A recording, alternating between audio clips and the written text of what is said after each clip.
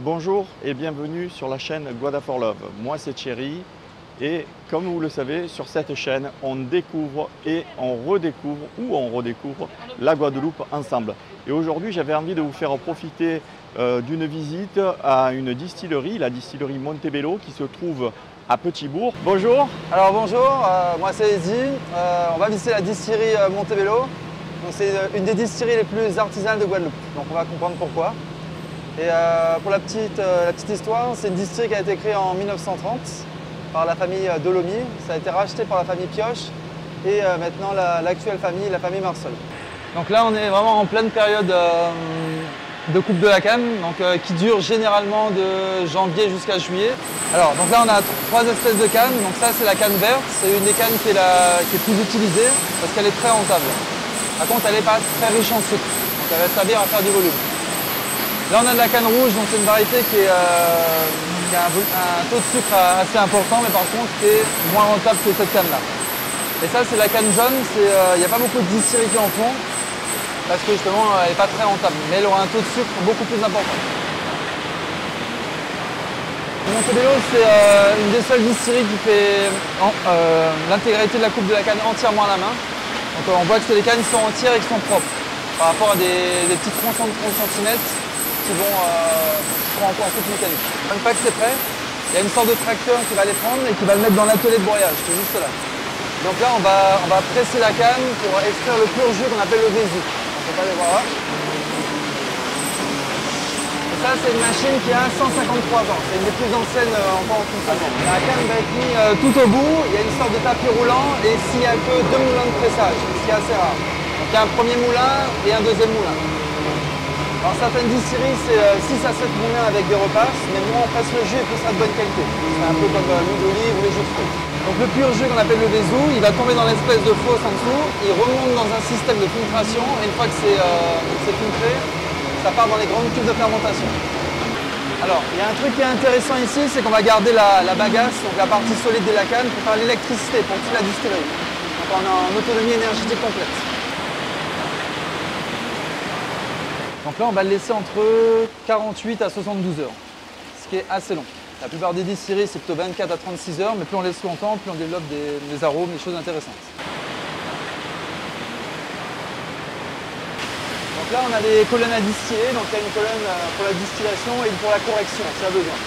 Le, le distillat, donc c'est vraiment l'appareil à l'ancienne, c'est qu'un système de vanne, il n'y a aucun ordinateur.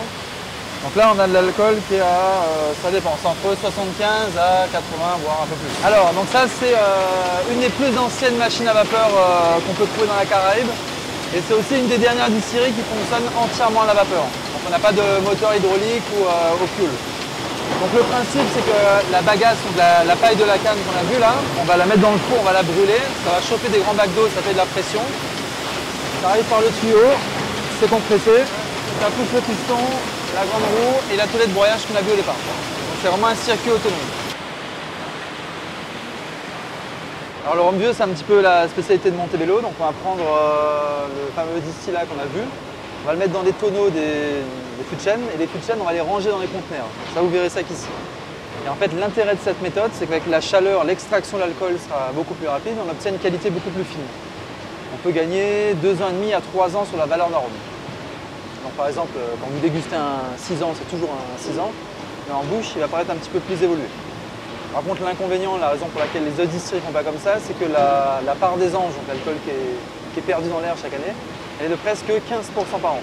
Alors l'embouteillage, il se faisait euh, ici encore deux semaines, maintenant c'est juste derrière les bureaux et euh, l'étiquetage il est encore fait à la main. Donc c'est les, jeunes du quartier qui aider, donc c'est pour ça que c'est pas toujours très droit, mais au moins ça, ça fait travailler tout le monde une cuve que j'ai récupérée dans, une ancienne distillerie. On a mis que de la canne rouge, donc la canne qu'on a vue au départ, là, qui est un petit peu plus, euh, un peu plus sucrée. On l'a laissé reposer à environ 12 mois et euh, il est sorti à 76 degrés. Mais en fait, il était tellement parfumé qu'on peut le voir comme ça. Pour la petite euh, anecdote, moi je suis parti d'un groupe de musique, c'est le, groupe de punk guadeloupéen.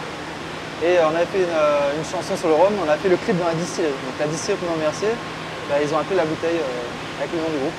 D'accord. On s'amuse comme on peut.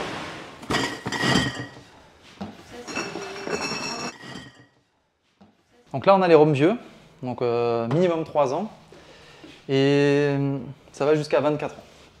Donc à Montebello, on écrit encore l'âge sur les bouteilles et les millésimes. On ne fait pas de VO, XO qui sont des, assemblages. Et après, ça dépend. C'est pas forcément parce que c'est plus vieux ou plus cher que c'est meilleur. Ça dépend des notes aromatiques qu'on cherche. Donc il y en a qui sont plus sur le côté vanillé, fruits secs, de plus épicé, plus boisé, etc.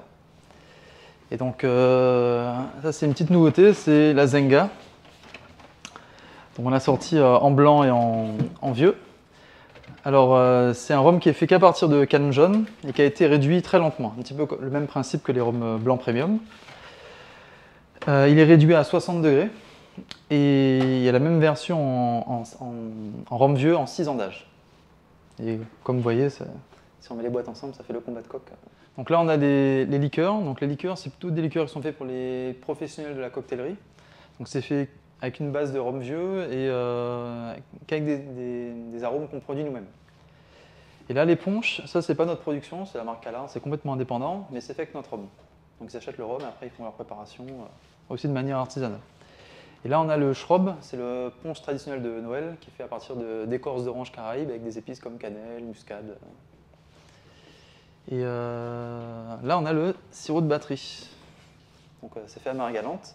Et ça, c'est la fameuse mélasse avec laquelle on fait les rhums euh, industriels par rapport au rhum agricole, comme on a vu, qui est fait à partir du pur jus de canne, du Vézou. donc là, c'est la cuvée euh, The Bolocos, là, par rapport au, groupe de musique. Donc ça, c'est la, première bouteille qu'on a faite en 2019, à 76 degrés. Donc ça, c'est le visuel de la, boîte. Et ça, c'est la seconde euh, bouteille qui est sortie à 77,7. Et en fait, au fur et à mesure, bah, ça fait comme une bande dessinée. les dessins sont différents. Et la troisième est en préparation. Mais voilà, on ne peut pas donner de date de sortie pour l'instant parce que c'est, on attend vraiment que ce soit prêt, qu'on soit satisfait. Dès que c'est prêt, ça sort. Voilà, cette vidéo arrive à son terme encore. Merci de l'avoir suivi.